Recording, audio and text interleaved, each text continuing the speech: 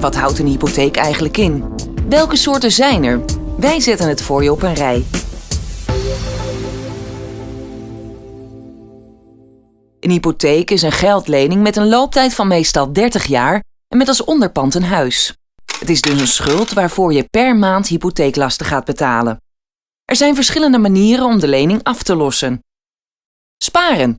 Je maandelijkse hypotheeklasten bestaan uit rente over de lening en een inleg op een geblokkeerde spaarrekening, zodat je na 30 jaar vanuit deze rekening je schuld geheel of gedeeltelijk kunt aflossen. Beleggen.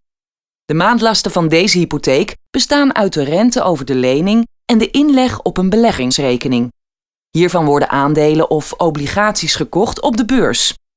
Het bedrag dat je na 30 jaar hebt opgebouwd voor de aflossing van je schuld is afhankelijk van de hoogte van je inleg en de beurskoersen.